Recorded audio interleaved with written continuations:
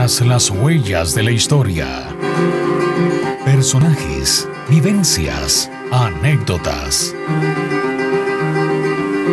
Muy buenas tardes, un placer en saludarles al presentarles un programa más de Tras las huellas de la historia aquí en Televisora del Sur, Canal 14. Bueno amigos y amigas, en esta oportunidad para nosotros es un verdadero placer contar con la gratísima presencia en Tras las huellas de la historia de nuestro querido amigo don Gilbert Navarrete. Don Gilbert.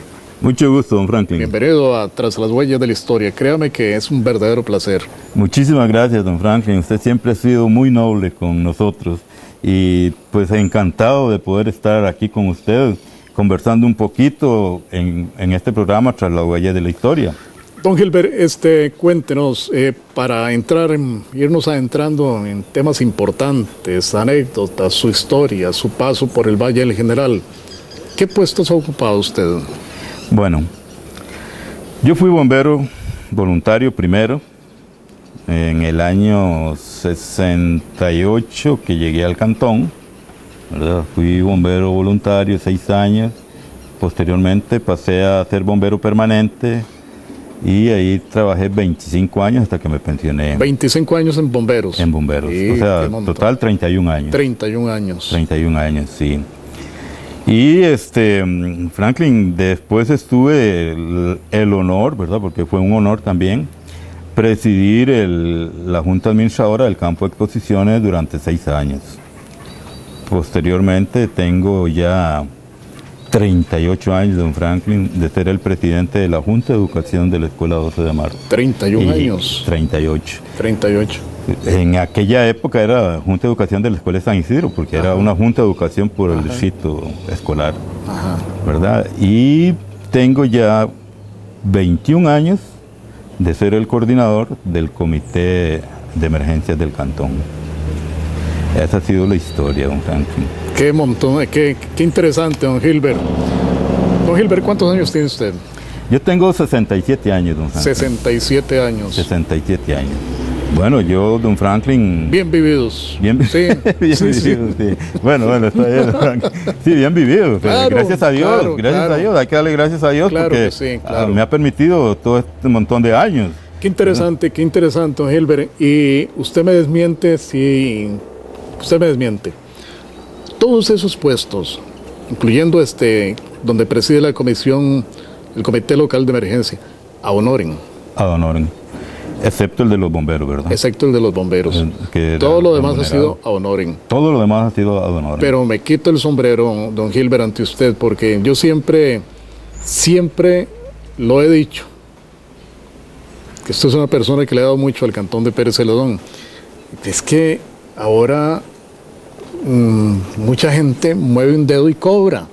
Usted tiene tantos, tantos años de trabajar en, la comi- en el comité local de emergencia y se siente motivado a estar ahí. Sí, don Franklin, vea, el, el asunto está en que toda mi vida la dediqué a atender emergencias y todavía los años que me quedan seguro los voy a dedicar a eso, porque yo me inicié en los bomberos atendiendo emergencias. Posteriormente, este, cuando ya se formó el comité de emergencias, pues pasé a ser parte de eso también. Cuando yo me, yo me pensioné el 15 de mayo de 1999. Este día me pensioné junto con otro compañero que yo tenía, que era Manuel Antonio Vargas Umaña de Morazán, nos pensionamos. Y entonces desde esa vez, ya como yo estaba pensionado, tenía más tiempo, no quería irme a encerrar a la casa, entonces decidí continuar la coordinación del comité de emergencias hasta el día de hoy, ¿verdad? No sé, en el futuro. ¿Le nació el gusanillo a usted de, de ser bombero, Gilbert? Sí. Sí, Desde niño. desde niño. ¿Te sí. llamaba la atención? me llamaba la atención. Sí. sí. Y, el recuerdo muy presente lo tengo en un paseo que hicimos a San José. Estábamos hospedados en el antiguo Hotel Central, ahí por, el, el- por la granja, y al frente hubo un incendio muy grande en una ferretería. No sé qué año era, era como el año 65, 66. ¿Cómo cuántos años tenías?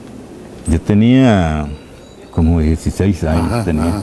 Y viste ese incendio. Y, yo vi ese incendio, vi las- los señores ahí con aquellos uniformes y con las botas y aquellas unidades de bomberos de aquel tiempo, ¿verdad? Entonces ahí todavía me nació más y más.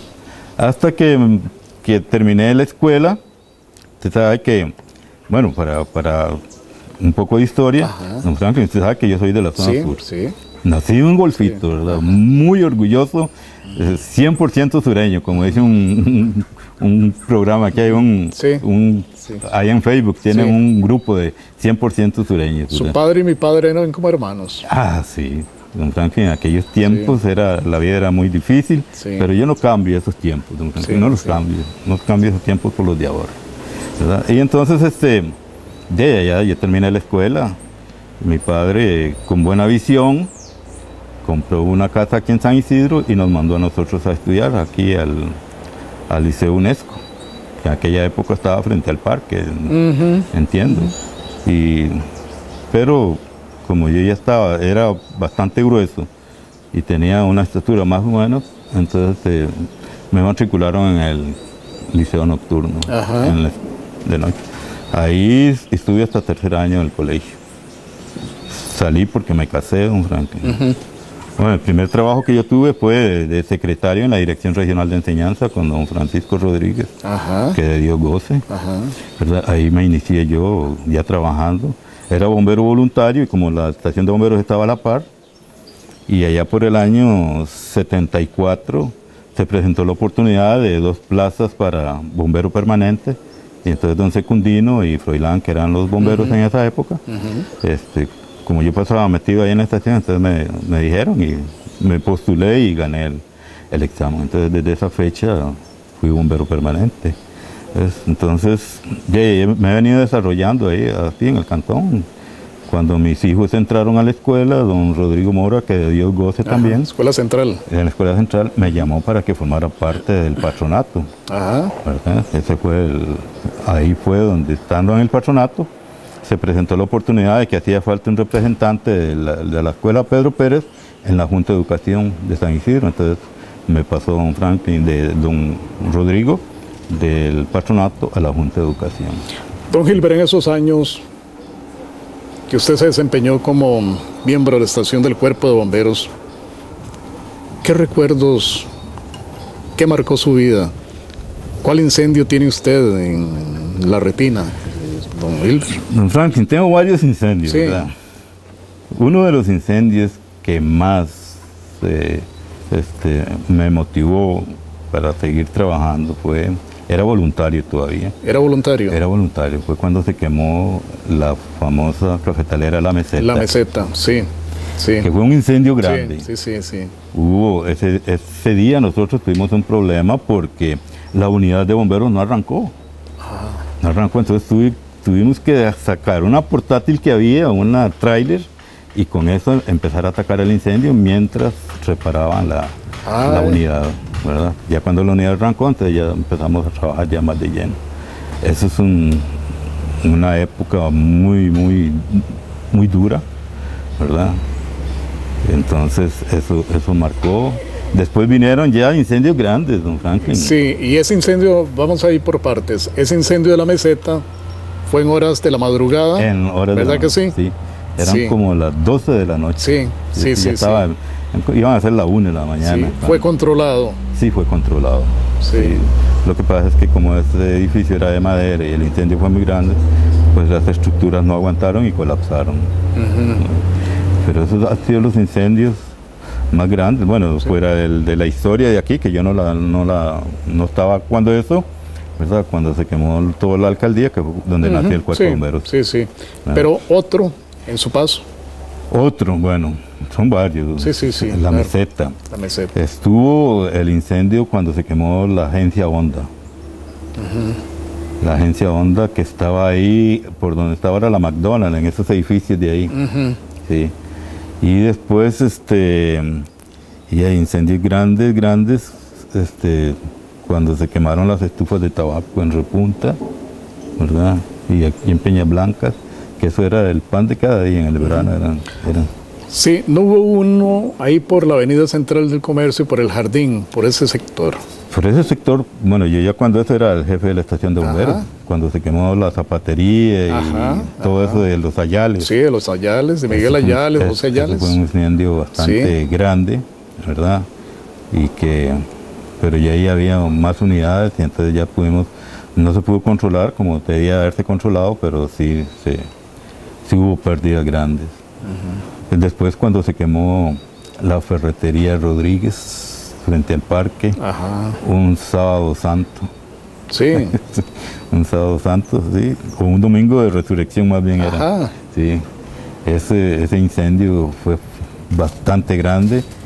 Estábamos, teníamos solo la unidad, la unidad número 20, y era tanto el vapor, el, el calor, que recuerda el Kentucky que estaba hacia el frente, empezó a, a salir humo del Kentucky porque el reflejo del fuego ya iba a pasarse para allá. Ajá. Entonces hubo que emplearse mucho con mangueras para tirarle agua y poder controlar el, es- es- que no se quemara porque ese era otro otro edificio viejo de madera. Sí. Cuando suceden esos incendios, don Gilbert, bueno, los que son permanentes, permanentes, pero los voluntarios acuden Ah, cuando sí, hay siempre. incendios. Yo siempre, yo siempre he visto, he notado una gran unión, tanto Sí. permanentes como voluntarios, ¿verdad? Sí, siempre se ha, tra- eh, ha sido una sola familia. ¿Verdad que sí? ¿verdad? Ahora, el bombero voluntario tiene mucho más mérito, ¿verdad? No es que los bomberos permanentes no, pero ellos tienen mucho más méritos porque ellos son ad honorem. Se sabe que un bombero voluntario no tiene salario. Le- el INS le paga todas las pólizas, los cubren en caso de, de un accidente, pero este, ellos no tienen salario. Ellos acuden por amor a la institución y por amor a la comunidad. Ese es el, el trabajo del voluntario.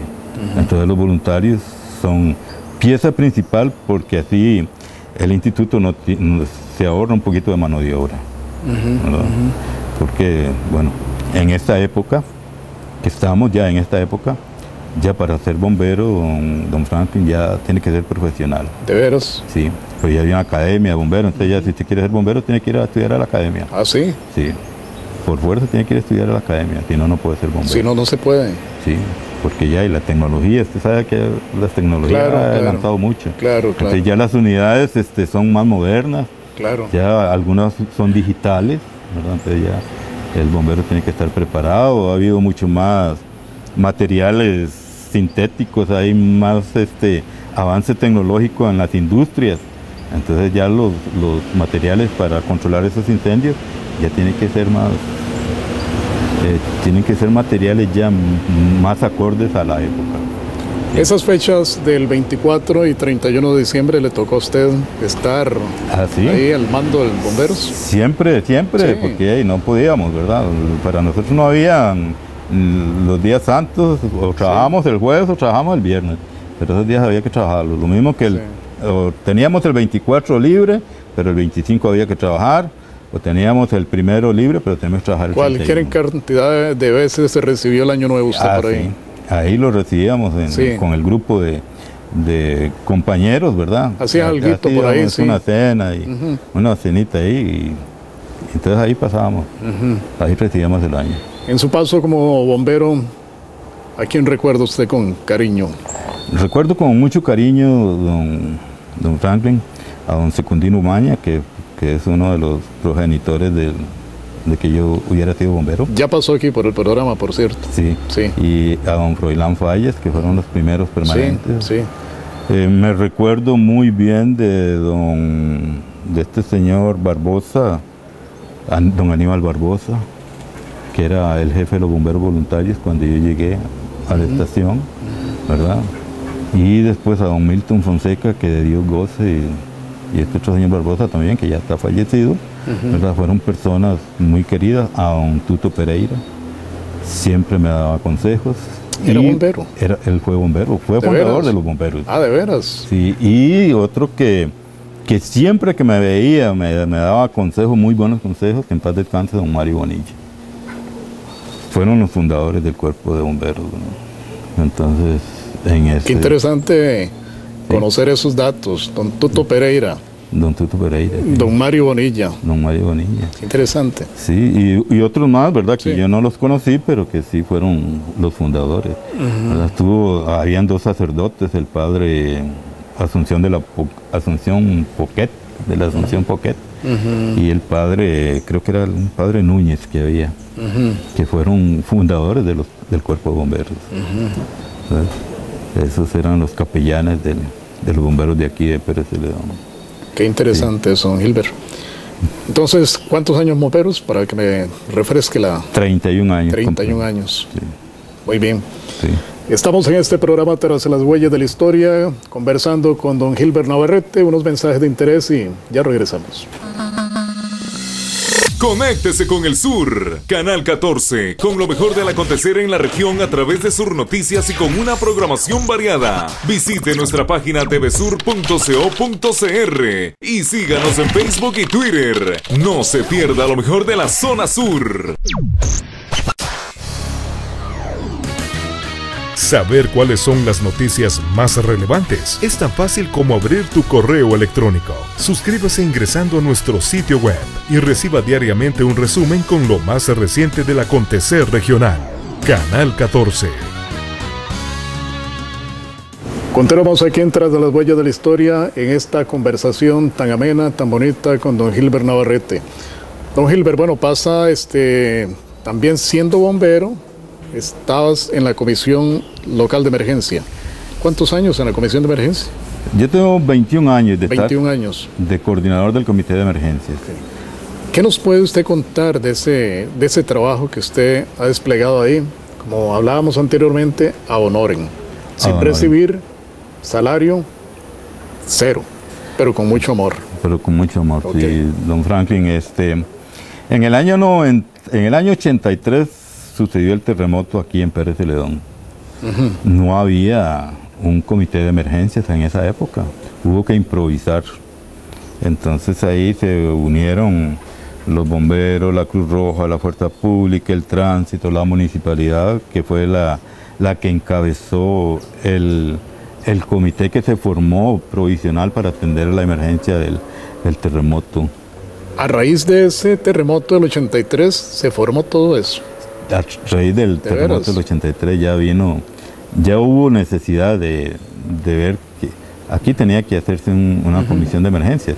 Sin embargo, la comisión de emergencias de San José todavía no estaba tan bien organizado porque en esa época estaba bajo la tutela del Ministerio de Transportes con un departamento que se llamaba Defensa Civil. Ajá. ¿verdad? Entonces, que fue Defensa Civil nació a raíz de las erupciones del volcán Iratú en el año 83, en el año 63. Pues, entonces, de ahí para acá fue cuando ya se vio la necesidad que el país tenía que estar organizado ante las, las situaciones de una amenaza de emergencia. Pero fue hasta como el año 90, yo pienso que ya eh, Pérez de León entró en una organización mejor. Recuerdo que para el año 90 se nos dieron, se nos dieron los primeros cursos. Primero nos dieron un curso para manejo de vehículos de emergencia, después se nos dieron cursos sobre la administración de los desastres, nos dieron cursos sobre primeros auxilios básicos que teníamos que tener. Y en esa época el coordinador, en el año 90 el coordinador era el doctor Alexis Rodríguez Madrigal. Don Alexis Rodríguez es parte de la historia de, de la Comisión de- Local de Emergencias de aquí del Cantón Director del hospital. el director del hospital. sí. Después estuvo don Secundino Maña, que es parte de la historia del cantón, ¿verdad? Don Secundino ha sido prácticamente fundador también de la Comisión de Emergencias aquí en Pérez Celedón. Y tantas personas, recuerdo don Eduardo Montes, creo que don Eduardo Montes ya está fallecido, ¿verdad? que era el presidente municipal de aquella época del terremoto, quienes lideraron el, el comité para atender esa emergencia. Bueno, Eduardo Montes eh, fue ejecutivo municipal. Era ejecutivo municipal en esa época, sí. Y fue el que lideró eso junto con los bomberos, la Cruz Roja, la Fuerza Pública. Recuerdo que nos reuníamos en, bueno, en eh, el Mercado Viejo, en unos saltos que había. ajá, en el mercado, nuevo, mercado municipal, Sí, donde está el en complejo ahora. A donde está el complejo ahora. Sí. Siendo usted bomberos, lo pasa o forma parte del- de las emergencias ya. Sí, siendo ya bombero, formamos parte del comité de emergencias. Entonces yo paso a ser parte del comité de Ya. emergencias en representación de los bomberos. Ah, ya. qué- Sí, eh, Entonces, y ya en el año eh, 96, cuando vino el huracán César, ¿verdad? Que ya como en diciembre del 96 fue que ya asumí el cargo de coordinador, ¿verdad? Y me tocó una colita ahí de, del huracán César. Se logra levantar, este, don Gilbert, el cantón de Pérez Celedón de ese terremoto del 83. Se logró eh, levantar. eh, ¿Cómo se trabajó? Don Franklin, ¿O fue un plan piloto? sí, sí fue- es decir, fue algo improvisado, Sí, sí, pero le digo con toda sinceridad, Sí, señor. con toda sinceridad. Nosotros no hemos podido recuperarnos del terremoto ni de todos estos huracanes que han habido. ¿Por qué razón? Porque algunas instituciones del gobierno son muy lerdas en actuar. Me da mucha lástima de ver a mí que después de una emergencia las personas que perdieron su vivienda vieron lo que cuesta que las puedan reponer. Mire, son trámites de un lado, trámites del otro y no se ha podido.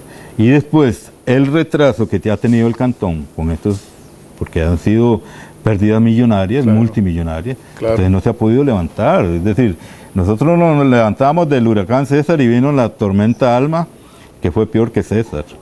Y ya el cantón retrocede en, en- en un avance.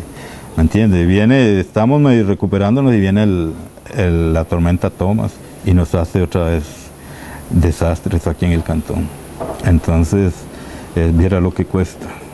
Cuesta mucho. Sí. Sí, por más recursos que se tengan, por más apoyo que dé la Es comisión. un entrabamiento total. Es un... Y es que no, no, no se recupera, don Franklin. Vea, si todavía hay puentes que están caídos, hay puentes que no se han podido construir. ¿Entiende? Hay comunidades que tienen las calles hechas un desastre, valga la redundancia, porque no se ha podido recuperar el cantón. Es- Cuando usted dice que no se ha podido recuperar el cantón, este, para su criterio, ¿qué falta? Porque sí, bien, ha habido tiempo para sí, recursos económicos. económicos. los recursos económicos son insuficientes a la hora de una emergencia. Porque una emergencia es una emergencia y, y no, fácilmente no se recupera. Don Gilbert, a lo largo de, de su paso y aún que preside la Comisión de Emergencia, ¿qué lo marcó? ¿Cuál fue la, la tragedia que hemos tenido aquí que lo ha marcado usted? El huracán, Que se ha sentido indefenso. el huracán César. El César El César. es el que hizo Ese- estragos. estragos. El César se llevó aquí 120 puentes. 120 puentes. Viviendas ni para qué. Sí. Ese fue el... Bueno, es- tanto es así que nosotros estuvimos prácticamente aislados del- de la meseta central casi un mes por el paso del, del Painer. Se recuerda bien el, el hueco que se hizo ahí. Y la dificultad que hubo para poder habilitar un camino alterno para poder traer ya después la alimentación, porque el, el cantón se estaba quedando sin alimentación. Y lo difícil con el combustible, porque teníamos el paso cerrado aquí en la Unión de San Pedro. Recuerda, no teníamos paso. La costanera todavía no se había terminado y era, era una trocha lo que había. Entonces eso para mí me dejó bien marcado porque costó, costó mucho podernos levantar. Don Gilbert, cuando hay ese, esos fenómenos naturales, hay anuencia por parte, en este caso, de la Comisión Nacional de Emergencia mm, en colaborar, mm, no sé, mm, ayudan ellos. Sí O a ayudan. veces, Sí ayudan, don Franklin. Eh, el asunto es que la comisión, la comisión de emergencias, este, tuvo una visión muy buena en, en crear los comités locales de emergencias. Pero la comisión crió los comités locales de emergencia, pero con las, con las manos vacías. O sea, nosotros no Ya. tenemos en este momento un vehículo, Ajá. el comité no cuenta con un vehículo para ir a hacer una inspección.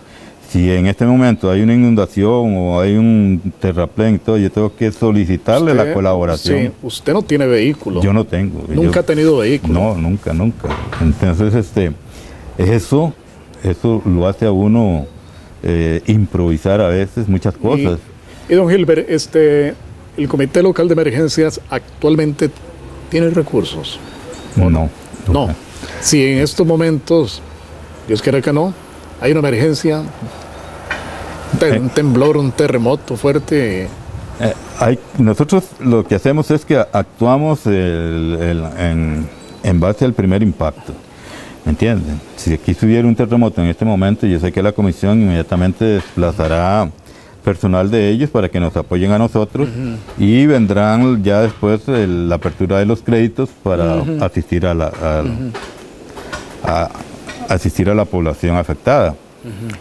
Este, pero el Comité Local de Emergencia no maneja recursos económicos porque la ley no tiene un marco legal para hacer eso. Entonces no, no podemos manejar recursos económicos. Ahora lo que nosotros manejamos son créditos autorizados por la comisión. Eso sí, digamos yo, se presenta una emergencia, yo reporto a San José, mando la solicitud de crédito a San José y ellos le mandan al proveedor de aquí la autorización para que se, se abra el crédito, entonces yo saco los, los insumos que tenga que sacar. Pero, pero los comités no manejan recursos económicos. Don Gilbert, este, ¿cansado? Sí, Sí. es cansado. Sí. Es cansado. Le ¿Hasta cuándo que- tendremos a Gilbert Navarrete al frente del Comité Local de Emergencia? sí, ¿Hasta cuándo? Bueno, yo pienso, don Franklin, que ya se está llegando el momento, como dicen, que yo ya cumplí mi ciclo. ¿verdad? Son 67 años, don Franklin. Mi salud no es buena, ¿verdad? Sin embargo, yo hago el esfuerzo por andar Sí, en, los lugares donde no debiera de andar, que ya el doctor me dijo que no. Y ya, digamos, ir a ver un deslizamiento ya no, no podría porque yo no puedo caminar distancias muy largas. Entonces yo pienso que ya se está aproximando el, el retiro de don Gilbert Navarrete como coordinador del comité de emergencia. Yo me siento satisfecho, Franklin, porque modestia aparte, creo que le he dado al cantón lo que el cantón se merece por haberme aceptado como un, un hijo adoptivo, ¿entiendes? Y yo le, le he pagado con creces Claro. esa, esa adaptación. Claro. Este, no es fácil, don Franklin, que usted esté durmiendo y a las 2 de la mañana lo llamen, don Gilbert se desbordó hasta el río, don Gilbert se me vino un terraplén sobre la casa y ya ten- a esas horas tiene que levantarse uno, aunque no quiera, tiene que levantarse para ir y, y poder hacer, si hay que abrir un albergue, etcétera, etcétera. Sí, claro. Me imagino, don Gilbert, que después de que pasa una tragedia, algún movimiento natural, algo de la naturaleza, la gente que queda indefensa, la gente que queda con problemas, lo sigue llamando a usted. Ah, sí. Me imagino que, Mm, que, digo, que usted se siente también con las manos atadas a veces para... Sí. Usted quiere ayudarle a esa gente, pero Sí. no se puede. Don Franklin, es un, un, un asunto muy sentimental. Sí, sí, sí. Yo, digamos, hay personas, a veces yo lloro con las personas, no me da vergüenza decirlo aquí en público, a veces yo lloro con las personas de ver la necesidad que ellos tienen y ver la apatía que hay de las instituciones que tiene el gobierno para Claro, ayudar claro. eh, y no ayudan. Y no ayudan. ¿verdad? Entonces, eso, es- eso es. Es decir, a mí me duele ver cómo una familia se quede sin casa y que dure dos, tres, cuatro años para volver a recuperarla. Eso, eso, no, es, eso no es así, ¿verdad? Yo creo que nosotros tenemos que, que ver. Hace poco el señor don Roberto Prado estuvo en mi oficina solicitándome porque la Defensoría va a presentar eh, a la Comisión algunos aspectos que se deben de mejorar. Y algunas instituciones, en el IMAS, en el BAMBI, porque caramba, es, es decir, es, es doloroso, es doloroso, don Franklin. Y viera qué, qué duro que es para mí que una familia llegue y me diga, vea, don Gilbert, yo perdí mi casa ahora con, con esta emergencia y vea, y no tengo nada que comer. La comisión yo sé que no escatima eh, refuerzos, pero ya hay, don Franklin, el IMAS también es una institución de ayuda social.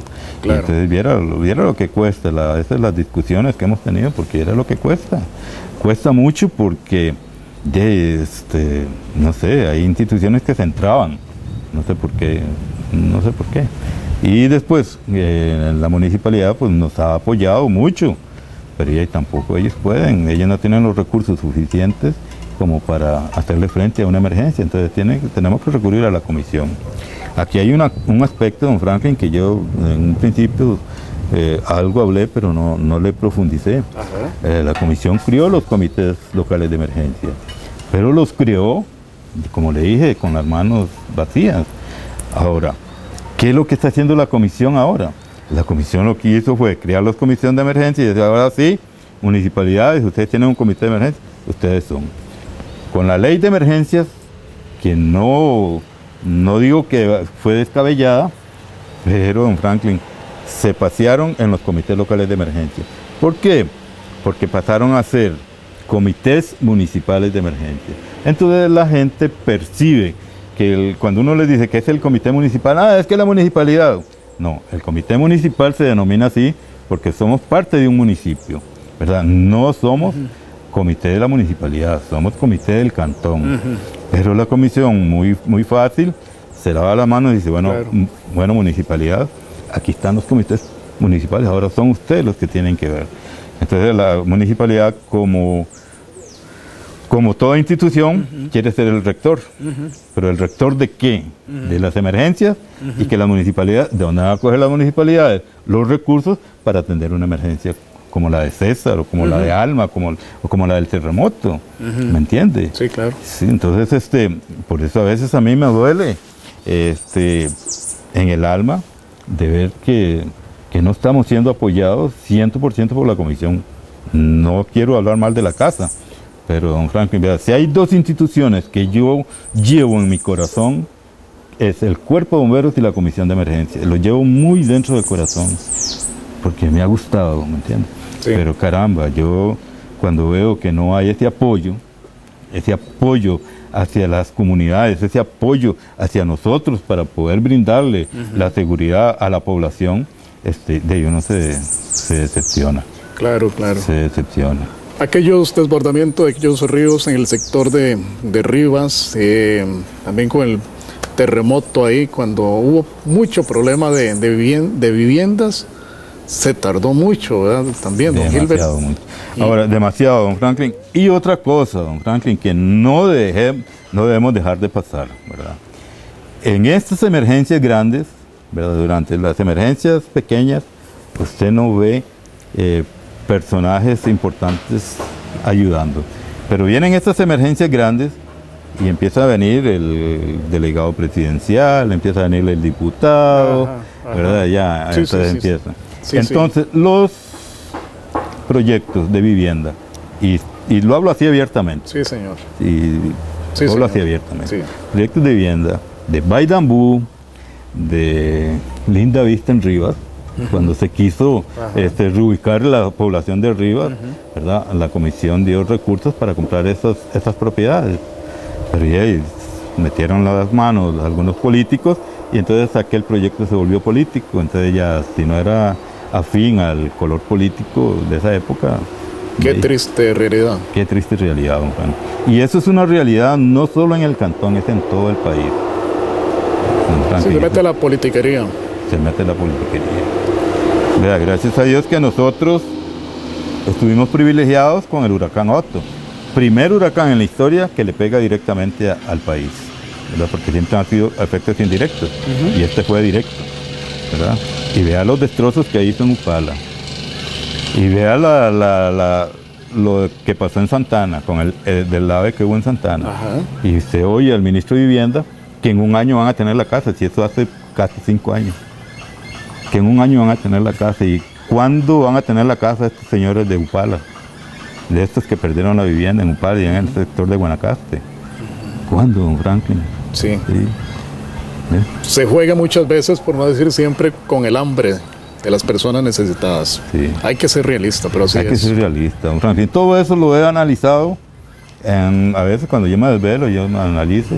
Y entonces es donde yo digo, bueno, don Gilbert, usted cumplió con su deber.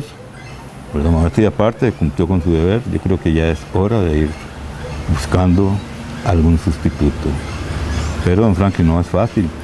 Porque estos, como estos puestos ad honorem, Si este puesto hubiera sido remunerado, don Franklin, yo no estaría de coordinador. No estaría de coordinador. Quién sabe Sí, cuántas serruchaderas de piso ya me hubieran dado. Cierto. ¿Cierto? Sí, es. pero como, ya, y como es de, de a ya, dejemos a Gilbert Navarrete ahí. Sí, sí. Ya ha estado 20 y resto de años ahí, que siga. Pero apenas sea remunerado, Ah, sí. Don Gilbert, si acaso le dan las gracias. sí. Otra triste realidad, señor. Otra. Ya regresamos aquí en Tras de las Huellas de la Historia. Entérate del acontecer regional. Conoce nuestros horarios de programación. Solicita tus videos musicales. Danos tu opinión. Todo esto y mucho más desde tus redes sociales favoritas. Síguenos en Facebook, TV Sur Canal 14, Twitter, TV Sur, YouTube, TV Sur 14, TV Sur Canal 14. En el corazón del sur. www.tvsur.co.cr Saber cuáles son las noticias más relevantes es tan fácil como abrir tu correo electrónico. Suscríbase ingresando a nuestro sitio web y reciba diariamente un resumen con lo más reciente del acontecer regional. Canal 14. Don Gilbert, su paso por lo que es educación, porque también aún forma parte, es presidente de la Junta de Educación, Soy presidente de la Junta de Educación. de la Escuela 12 de de la Marzo. Escuela 12 de marzo. Qué interesante, don Gilbert. 38 años, don Franklin. 38 años. Sí. Yo no sé si es que uno será que llega a un puesto y la responsabilidad lo hace ser a uno como vitalicio. Porque, porque ¿Cuántos, sí, sí, ¿cuántos directores ha visto usted pasar ahí? ay, don Franklin, bueno, le cuento que Cuéntanos de algunos. Sí, yo recuerdo a don Danilo en aquella época de los años 70, 60 y resto 70. Bueno, cuando la escuela 12 de marzo era la escuela 12 de marzo número uno y la escuela 12 de marzo número 2. ¿verdad? Que estuvo don Danilo, estuvo don este otro señor Sánchez, no recuerdo el nombre, estuvo don Fernando Sánchez, estuvo doña Tais, estuvo doña Marielos, este, estuvo este muchacho Calderón, que se me van los nombres, Sí. eh, el último don Marvin Fallas, Leiva, este, Ah, Roger. eh, Roger Leiva, sí. Estuvo don Marvin, después estuvo doña Roxana Fernández Calderón y ahora doña Alba Luz Monge. De cualquier cantidad de directores, ¿verdad? Cualquier cantidad de niñas. A mí a veces me daba pena porque a veces ya yo veo muchachas, ya señores, ¿verdad? Y me dicen, don Gilbert, gracias, dice, no, aquí yo recuerdo cuando usted me dio el título. Ah, de veras. Lo mismo que en la escuela Sí, Pedro Pérez. Sí, sí. ¿verdad? Me dice, don Sí. Gilbert, usted me dio el título de sexto grado en la escuela Pedro Pérez. Hijo de puchi, que ya mi mente y empieza a darle vuelta, a ver, pero eran chiquillos y ya uno va perdiendo cierta lucidez. Y, Claro, ¿verdad? claro, claro. Y no. Lo mismo pasa así en las emergencias. Ya hay señores, familias que a veces las veo en el mercado. Don Gilbert, que gracias a Dios, vea, gracias a usted, yo ya me dieron una casita. Le digo, no, gracias a mí, no. Le digo, dele gracias al Bambi que existe. Le digo, a mí no. Le digo, no fue nada más un instrumento ahí de coordinación. Dice, pero no, pero es que usted intervino. Y, y entonces uno se siente satisfecho por ver que hay gente agradecida. Hay otra gente que no. Don Frank, voy a contarle una anécdota. Claro, claro. Para el huracán César, no, para la tormenta Alma, ¿verdad? La comisión mandó unos diarios para acá y entonces les dimos diarios a las personas que, que, ya, que fueron afectadas. Llega a la oficina, estaba con el oficial de enlace en la oficina, cuando llega una señora y me dice, don Gilbert, sí, dice, vengo a hacerle un reclamo. Le digo, ¿por qué? Le digo, ¿qué fue? Dice, vea, don Gilbert, este café que manda la comisión es un asco. Dice, nosotros usamos solo 1820.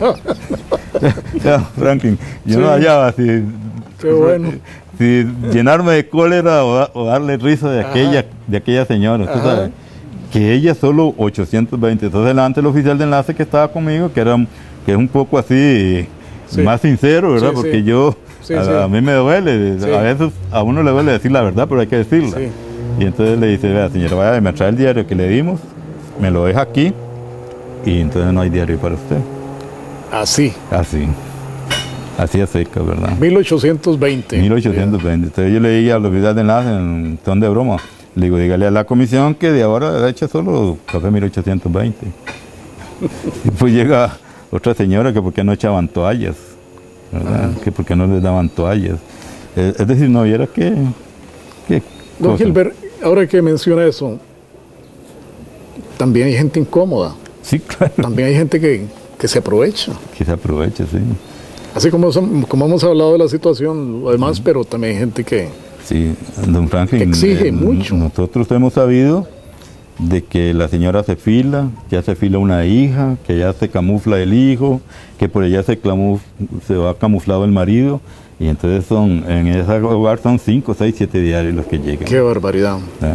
Y se, se ha dado eso, Eso es, ya, es- Sí. eso es una realidad, don Franklin. Sí. Es que en una emergencia, usted es tanta la gente que por más que haya organización, por más que estemos mejor organizados, don Franklin, eso se le escapa a uno de las manos.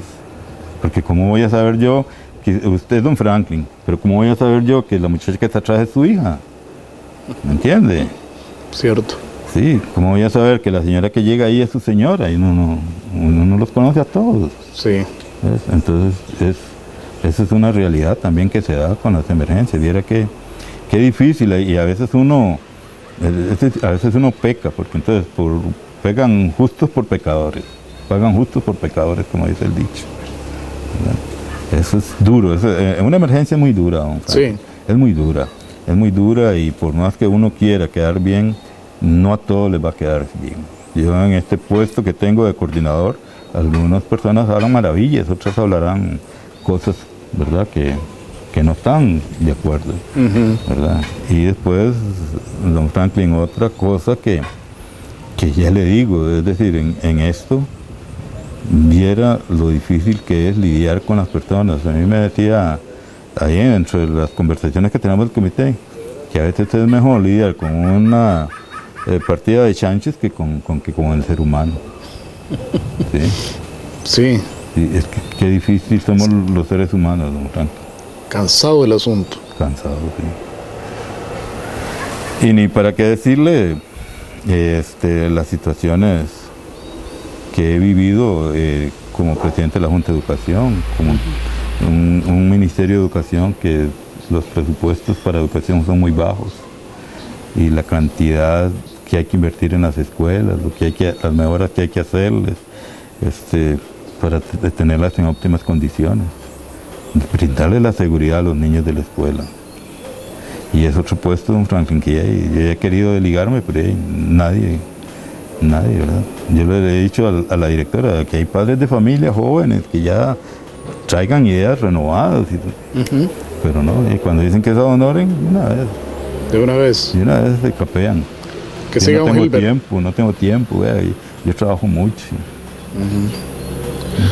Sí, este, bueno, ya imagínese, ya es que tiene muchos años como presidente de la Junta de Educación. Incursionó también trabajando en el campo de exposiciones, don Gilbert. Sí, También ahí jugó un papel importante usted. sí, yo sin conocer nada de ganadería, don Franklin, me, me metieron el churuco y me nombraron presidente de la Junta Administradora del Campo de Exposiciones. Estuve seis años, estuve muy poco tiempo, pero también fue porque ya empezó a, a hacerse político el- el- esa parte de ahí. ¿Me entiendes? Y yo no, no soy ganadero. no Para tengo- variar, para variar. para variar, sí. Sí. Entonces, este, de ahí, no, don Franklin no era, no era justo, nosotros no tuvimos ninguna retribución económica. No era justo que yo llegue a la casa a las 2, 3 de la mañana y al otro día a las 7 de la mañana tenía que estar ahí porque llegaba el Ministerio de Salud a hacer las inspecciones, a ver qué había que mejorar y todo. Es cansado. Sí. Sí, yo terminaba cansado. Sí. pues.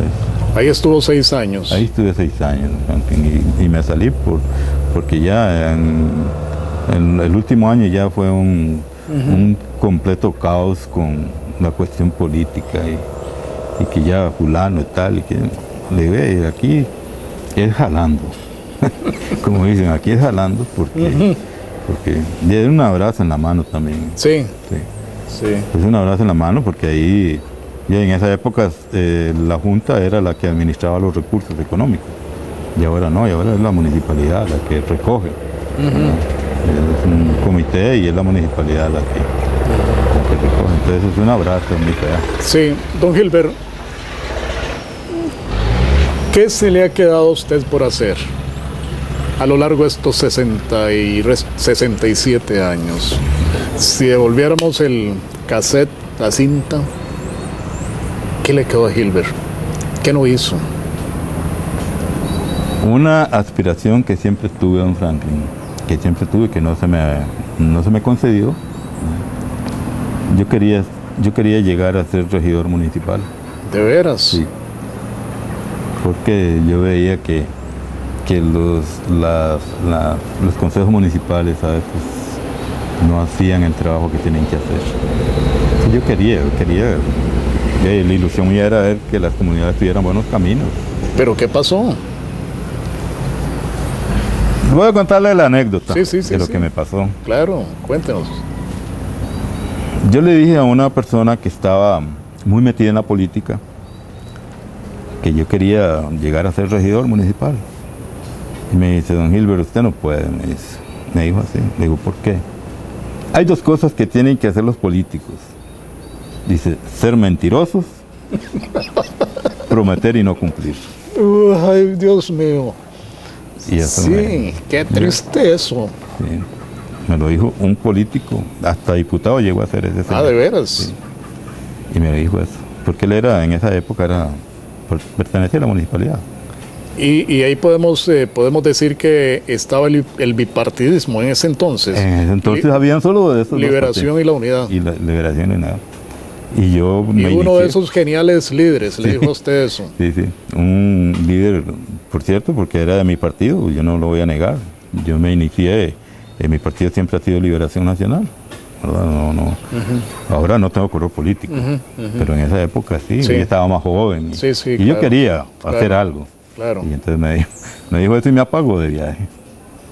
Fue lo, lo único que, que ya no pude realizar. Porque en esta época, don Franklin, ya yo no.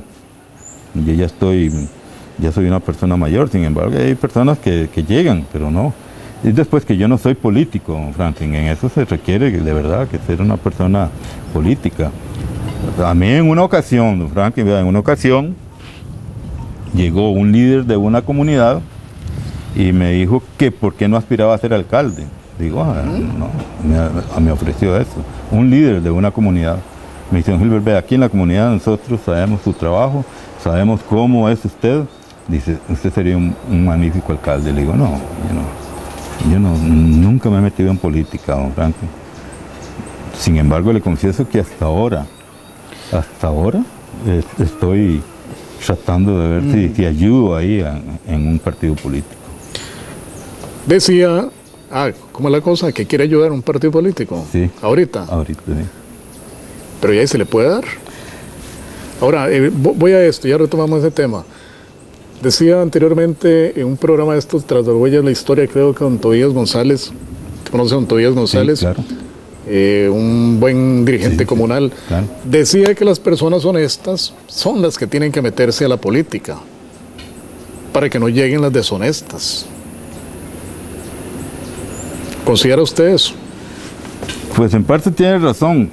El problema es que ya, don Franklin, nosotros somos humanos y ya uno en un puesto político no, no sobrará quien llegue a tentarlo. ¿Entiende? Mira que con una partida específica, mira que esto, mira que lo otro. No sobrará quien. Entonces yo digo que que las personas honestas no podrán llegar a ser políticos. Una persona bien honesta no podría llegar a ser un político. Franklin, vea cómo está nuestra, vea cómo está nuestro cantón. Franklin, aquí en un año nosotros tuvimos cuatro diputados en la asamblea. ¿Cierto? ¿Y qué hicieron esos cuatro diputados? Ciertísimo, sí señor. Entonces no se puede, por más honesto que uno sea, llega el momento en que se corrompe también. Y ahora, este, cuénteme, porque me dejó así. ¿Está metido en algún partido? Sí, estoy apoyando una, a una Sí. persona Ah, qué bueno, que está aspirando a una diputación por el cantón. ¿verdad? qué bueno. Una gran persona, ojalá que de verdad pudiera quedar, porque es una magnífica persona, ¿verdad? Que es una persona cabal en su... Y yo pienso que si él queda, pues va a ayudar mucho a este cantón. Perfecto. Ya regresamos con don Gilbert Navarrete aquí en Tras las Huellas de la Historia. Saber cuáles son las noticias más relevantes es tan fácil como abrir tu correo electrónico. Suscríbase ingresando a nuestro sitio web y reciba diariamente un resumen con lo más reciente del acontecer regional. Canal 14.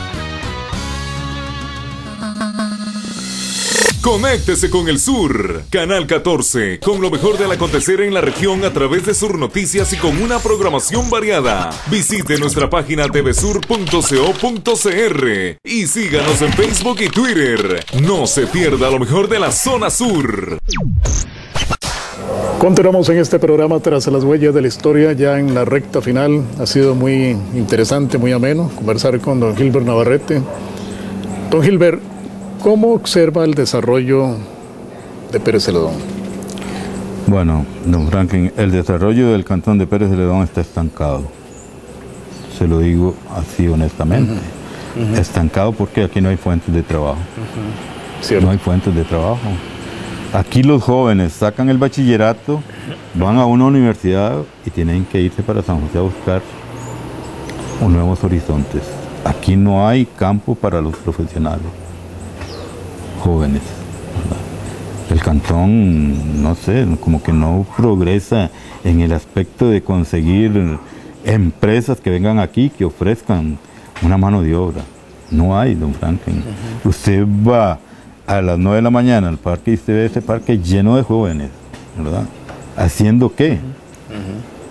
Realmente yo pienso que no. Y otra cosa, don Franklin, que ha afectado mucho es la falta de visión de algunos políticos de, de ver que este cantón, este cantón estuvo a la par de San Carlos en una época.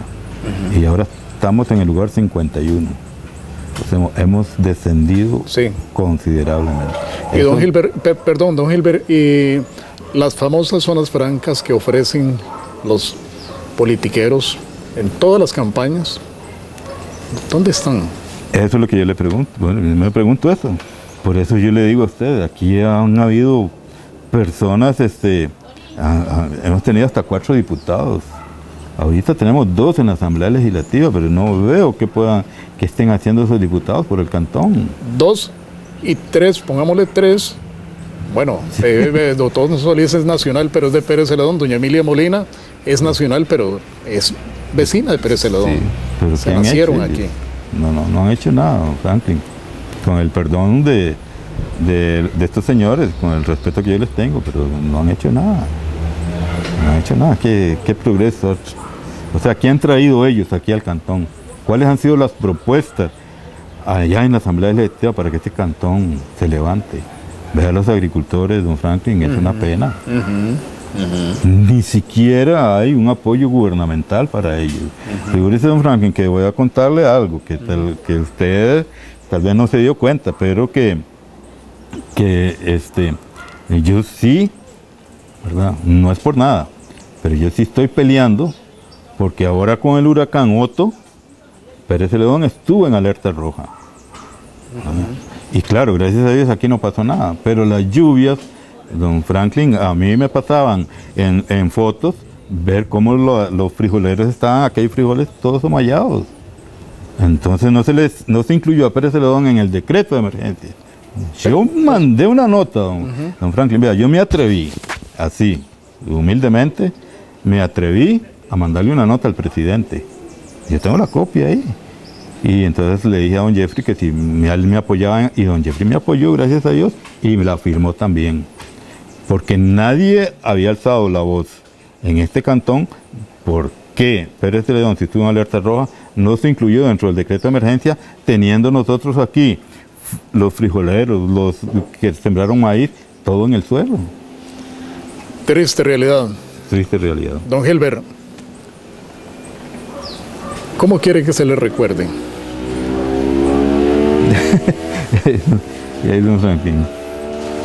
Como una persona luchadora, luchar por, por este cantón. Ya le digo, yo he luchado por este cantón dándole las gracias por haberme adoptado como hijo. ¿Entiendes? Pues yo no soy de Pérez Celedón, pero yo quiero que por lo menos se recuerde de que algo hice.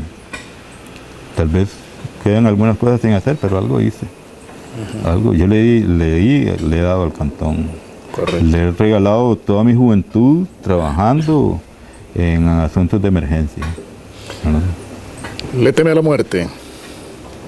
No, don Franklin, la verdad que no. ¿No? No. No, porque yo hago la idea de que todo tiene su fin. Hasta nosotros tenemos, tenemos que llegar al fin. Yo sufrí mucho cuando mi padre y mi madre se murieron. Sufrí mucho, pero acepté la realidad porque yo y Haití somos personas que no somos infinitas. En algún paso. momento nos llega. Tarde o temprano nos llega. Me duele mucho ver cómo últimamente ha muerto mucha gente joven. ¿verdad? Sí. Sí, Bueno, yo le doy gracias a Dios que todavía me tiene con vida. No sé hasta cuándo. Y por muchos años, mi estimado. Don Franklin, ha sido un placer. No, el placer es mío, sinceramente. Yo sé que los queridos televidentes han disfrutado de esa conversación tan bonita esta tarde con su persona, don Gilbert. Y sinceramente, de parte de, la empresa Canal 14, el eterno agradecimiento a usted.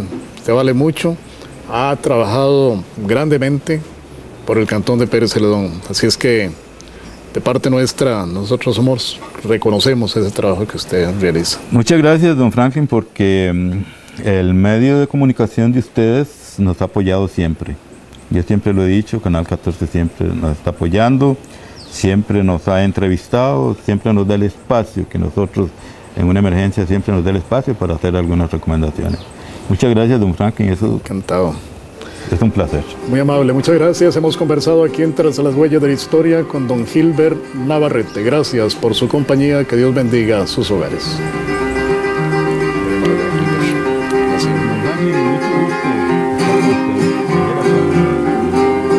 Tras las huellas de la historia.